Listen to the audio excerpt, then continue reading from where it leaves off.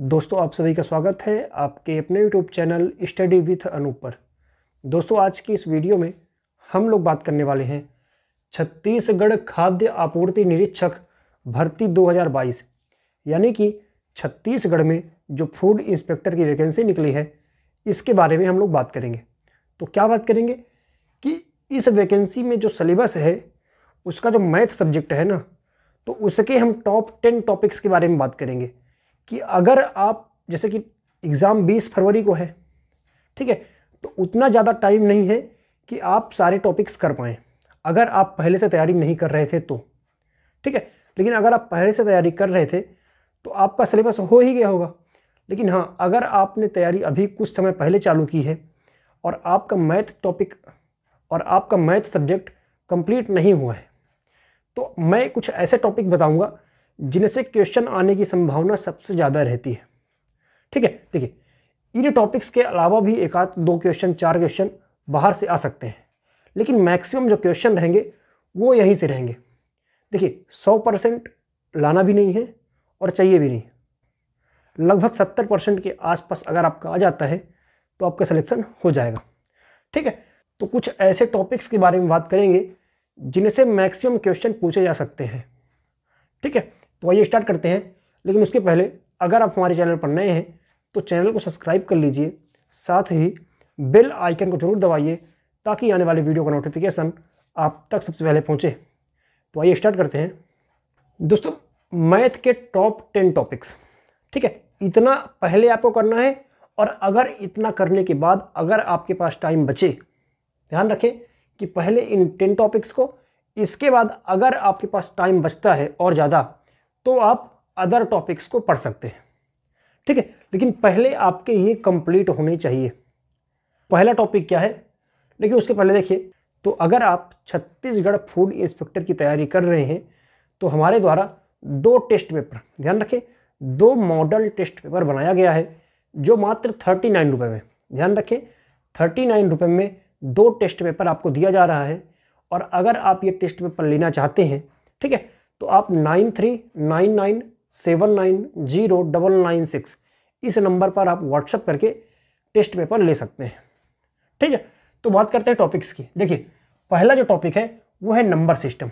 बहुत ही बेसिक है और ध्यान रखिए कि आपको ऊपर ऊपर से नहीं पढ़ना है, क्योंकि देखिए, कम टॉपिक पढ़िए, लेकिन उसको अच्छे से पढ़ेंगे। ठीक है? तो पहला है नंबर सिस्टम। इसको अच्छे से करना है। इसके बाद परसेंटेज, यानी प्रतिशत इसके बाद प्रॉफिट लॉस यानी कि लाभ हानि, इसके बाद औसत, यानी कि एवरेज इसके बाद अनुपात, यानी कि रेशियो इसके बाद एस आई सी आई यानी कि सिंपल इंटरेस्ट और कंपाउंड इंटरेस्ट यानी कि हिंदी में बोले तो चक्रवृद्धि ब्याज और साधारण ब्याज। ठीक है? इसके बीज गणित, यानी एल्जेब्रा इसके बाद क्षेत्र मिति, यानी मेंसुरेशन और चाल समय दूरी। देखिए, ये नौ टॉपिक्स हैं। ठीक है?